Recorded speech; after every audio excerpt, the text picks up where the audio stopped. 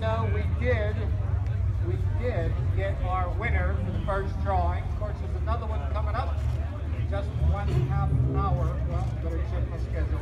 Yep, one half hour. We have a drawing every half hour for the next half hour. Next one is worth 150.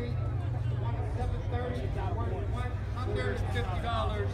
You've got to be here to believe it. You also got to be here to win it. So uh, I just want to say thank you to so many people before